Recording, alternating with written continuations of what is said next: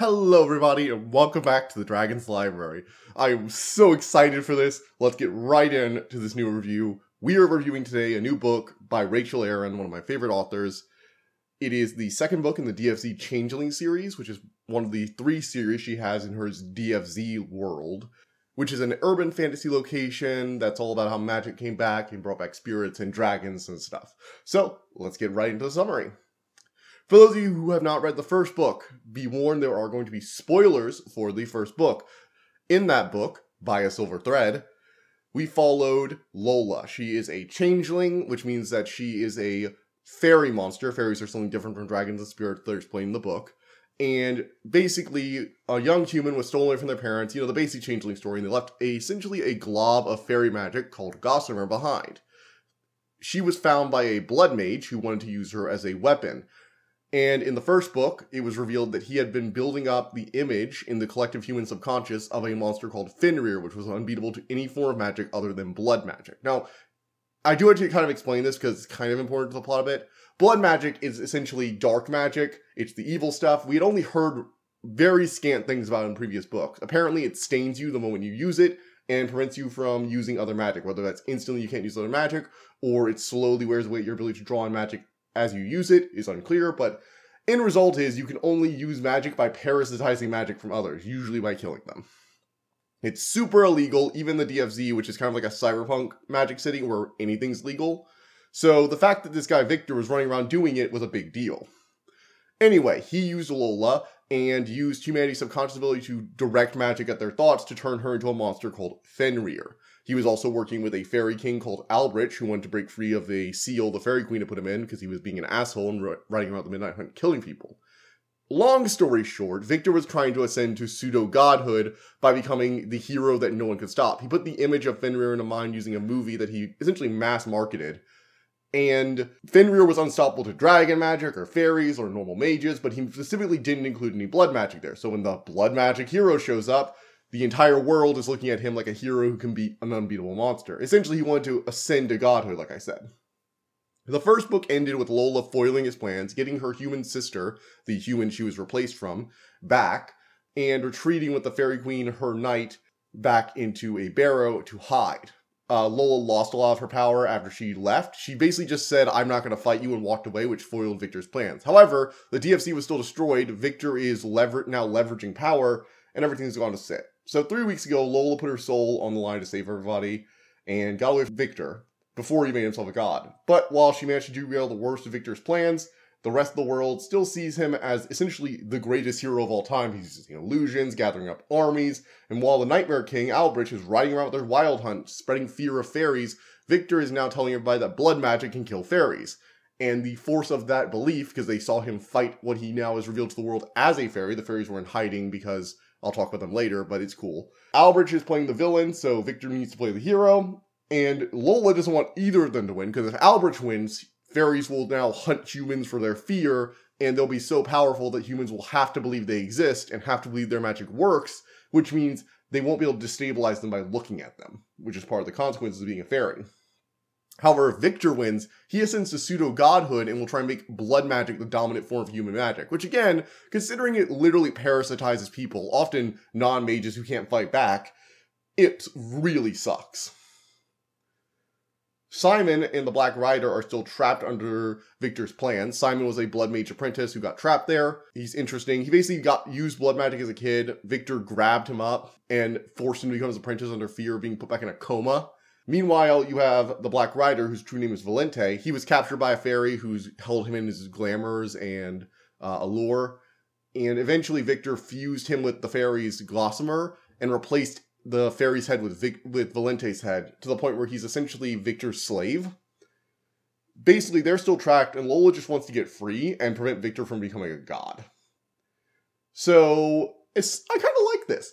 Basically, you have a villain who tricked the world into thinking he's now the greatest hero of all time, and because of the rules of their world and the stuff Victor's been playing around with with blood magic, he's essentially tied his magic to a lot of people's souls. To form himself a pseudo spirit vessel. I'm going to go into a little bit of the magic later because there is some necessary stuff here, but essentially he's trying to cheat and turn himself into a pseudo god. And that's really cool because we haven't seen a human try and do that yet. We had seen spirits pumping themselves up in the DFZ series, which was after the Heartstrikers, and we had already seen how the power of belief affected gods and spirits in the past. But being able to see a human trying to hijack that system and turn themselves into like a living god is a really cool idea for a villain. And one of the things I think makes Victor a really intriguing villain is that he's such an asshole, but he's a charismatic, manipulative, lying sociopath who is just so good at playing people that you actually believe he could play the whole world.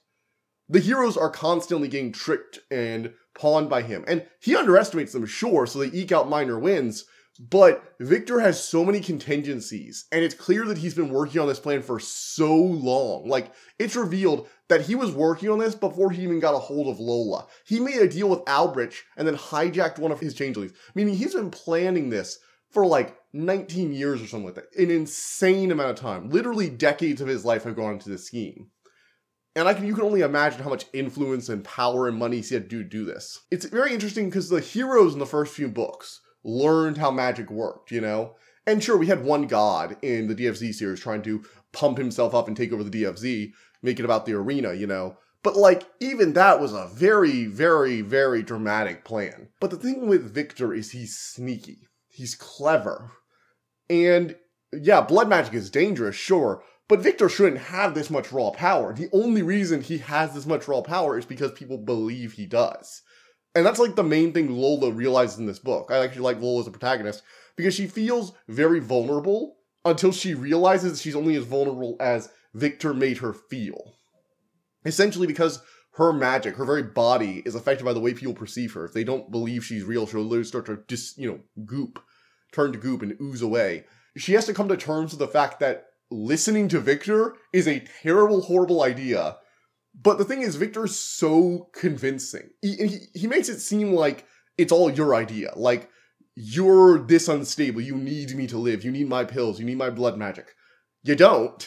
He's a con man, a really, really dangerous con man. And Lola finally has that realization, especially once you get revealed something that's a very major spoiler about her that I'm not going to reveal. It's a really cool twist about her and her sister that I kind of pieced together as the book was going on. So that was kind of nice. But essentially, she has to come to a realization that she is powerful. She does have the mind of Fenrir still behind her, so she is able to act. And if she doesn't act, nobody will. Uh, and she really doesn't want Victor to win. That's like the main thing. There are two things Lola cares about. Well, three. Her sister, making sure the people she grew up with, and you know, that are also in Victor's thumb, like Valente and si- Simon, are still around, that they get to survive, they get to live and have a life and that Victor loses. And by the end of the book, she is fully committed to fucking Victor over hard. And I am just all for this new confident Lola we're gonna have in book three. This was really her transition from the uncertain changeling of book one to this confident leader of this ragtag group that Victor screwed over and they're gonna screw him back. She has like the fairy queen and her his you know her knight working with her she has Valente at their side. She has Simon at their side by the end of the book. They're free, and now that she's accomplished her first two goals, it's time for goal three. It's time to bring Victor down. I also really like Valente. I think he's a very interesting character. He's one of those characters in books that's sworn to like an oath of loyalty, so he can't just disobey, but he fi- keeps finding workarounds. Like, there's this one part where Lola sends out like a scout made of her magic, and Valente is basically argues to himself that I know my master said to kill her the second I see her, but this won't kill her. This isn't all of her. So clearly I can't kill her right now. I still can't find the rest of her. So you know what? I'm not going to do anything because I can't accomplish my goal. And it's like that kind of like all of his fight for the most part, is inside his own head, constantly trying to logic his way around Victor's orders, which is a very horrible position to be in, but he's very good at at this point, which I'm very impressed by. Finally, you have Simon, who got betrayed by one of Victor's other servants at the end of the last book, and essentially got trapped in like a blood magic coma, tortured and mentally until he submitted. Uh, Lola manages to free him midway through the book, and he goes undercover on Victor, trying to sabotage his operations. I'm not going to spoil what happens there. Uh, let's just say Simon had a rough time in this book, but hopefully, you know, he'll be able to finally get that revenge and finally do something to stop Victor. Can't wait to see how that plays out.